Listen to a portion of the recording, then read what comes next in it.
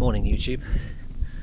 A fairly cloudy, dull, claggy, uh, typically Yorkshire start to today's walk. I'm heading towards Ingleborough, which is currently in the cloud or clag. I'm following parts of the Three Peaks walk again. It should be quite straightforward from a navigational point of view. There is a slight diversion further ahead due to erosion. Yeah, we had some rainfall about 8 o'clock last night. Not too heavy, but it's the first I've seen since I've been here. Should be a nice break from the hot weather of yesterday. There's definitely a, a cool wind to keep me going today. I'm actually going up there twice on today's walk. I'm doing a kind of figure of eight loop. It could be 14 and a half miles in all. It's quite a long day, but I can do this.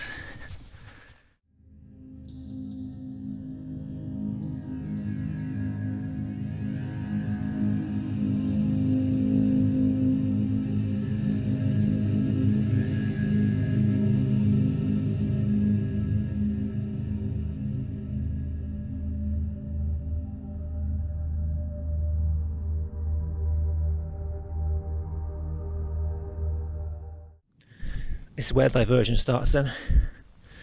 Going left up this way. If I could be asked to find my wallet, my backpack somewhere, I'd put some money in there. But sadly I can't. The Met Office believe that the cloud will lift around midday, so I've got about three hours to kill before then. I know the views on the western side quite well because I'm camping over there, I've been at Whernside. It will be nice to see what's further east from here going towards Pen-y-ghent because that's still quite new to me.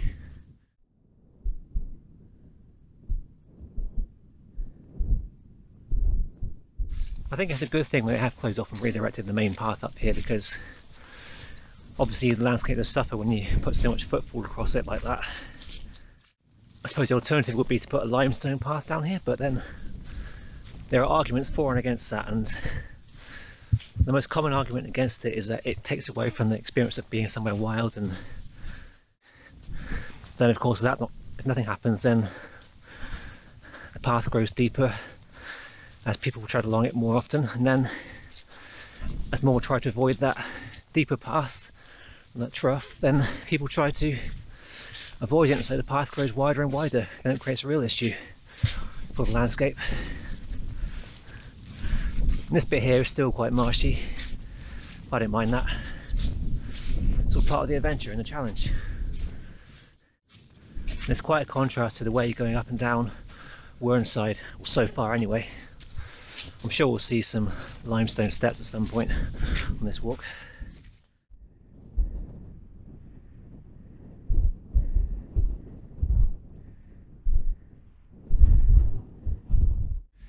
Currently about 500 meters up above sea level. Ingleborough sits at I think it's 720, so I've got some way to go yet. The cloud and mist is hiding the summit ahead of me, or hiding the ridge anyway. I do like walking in these conditions. If it was hot and humid, I'd be hating this. Which reminds me of walking in Snowdonia two years ago doing the Snowdon Horseshoe with some friends in July. Same temperature, same views.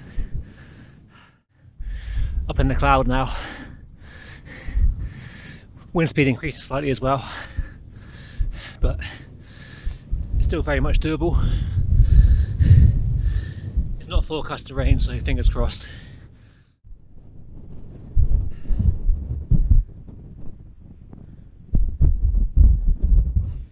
So the diverted route brings you up to towards Simon Fell, which is just northeast of the main Ingleborough summit. I'm going up past Simon Fell now, then I'm going to turn towards Ingleborough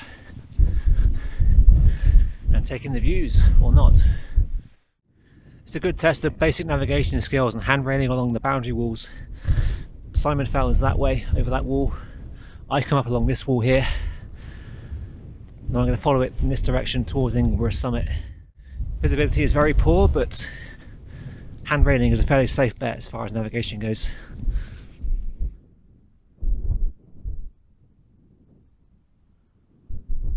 This is where I rejoin the main path from the right on a final push for the summit.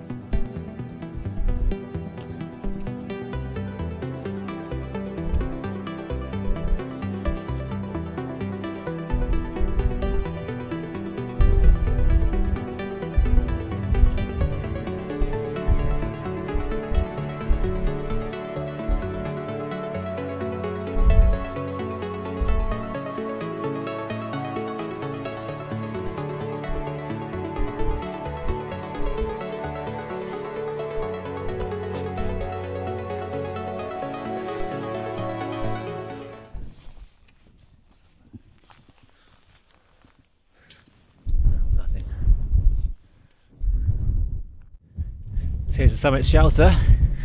Just look at the views. The trig point is just there beyond this cairn. Here we go then, Ingleborough. 720 metres or so. A nice rocky stone made trig point.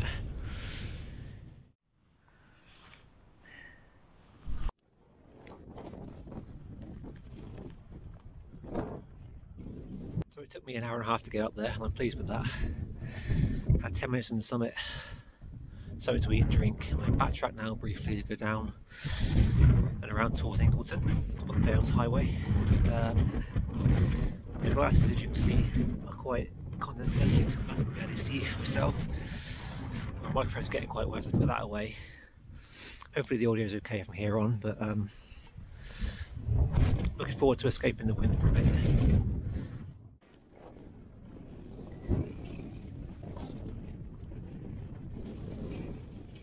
Climbing up towards Simon Fell earlier, I spotted two younger guys heading down the way I came up, or about to head down that way.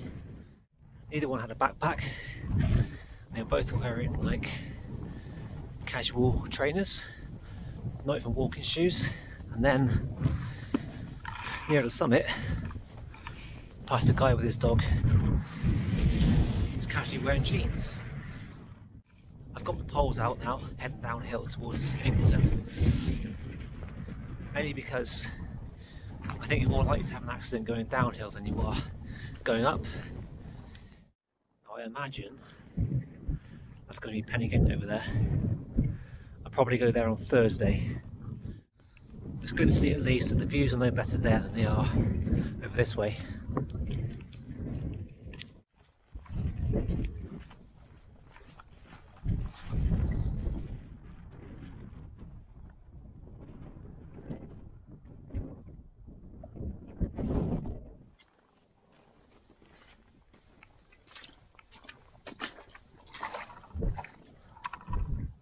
So now I leave the Three Peaks Walk today. I'm going towards Clapham via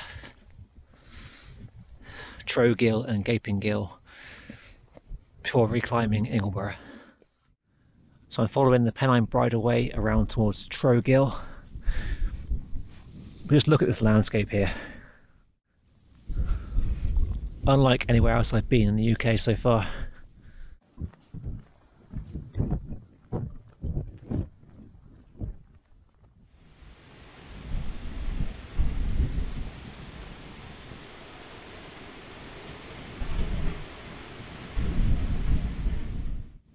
Just had some lunch. I'm now following the main path up towards Little Ingleborough from Clapham. This is following the Pennine journey. Uh, should be fairly straightforward. It's quite busy as well. We're about to go past Trow Gill and then Gaping Gill further up.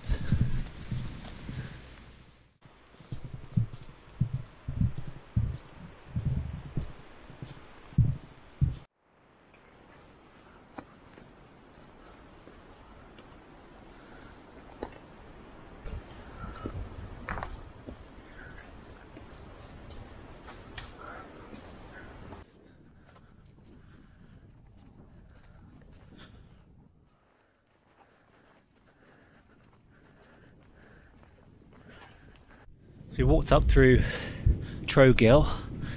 I assume this is Gaping Gill.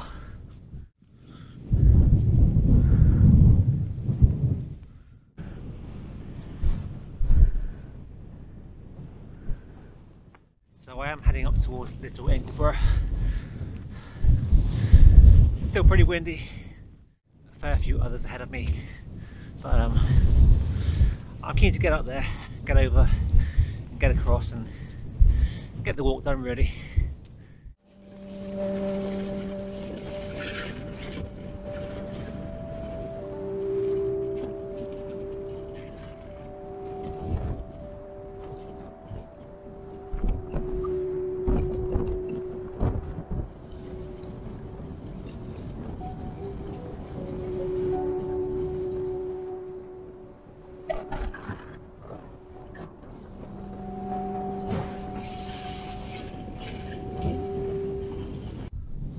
the summit of Little Ingleborough. I'm calling it now. There is no easy way to the top of Ingleborough. I think slightly more intensive. This one from Clapham's a bit longer, but kind of more rewarding as well. To have done pretty much two ways up and one route down as well. I've seen quite a lot of this small area. So now going up, I'm going to try and bypass the summit. I'll be following that ridge line north towards Park Fell and then down towards the campsite. I'm very aware that I'm quite tired, more so than I expected, and little bit clumsy in my footwork and placement sometimes. I'll try and find a clear way down to the campsite. I was going to try and go off piste to make my own route, but it's quite rocky around the western slopes. I can see a right of way going down to the road. I might as well use that if I can find it. Just back on the diverted footpath from earlier, ignoring the closure. Following it past Simon Fell and then heading on towards Park Fell.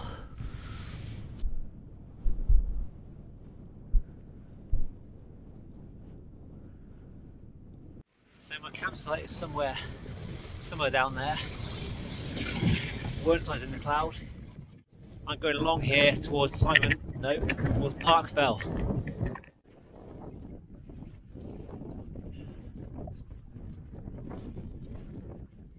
Doubling back towards Trig Point before I head back to base camp.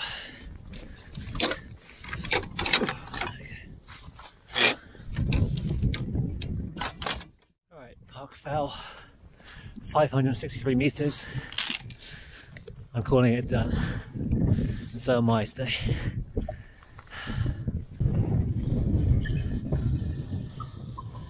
Ingleborough back there.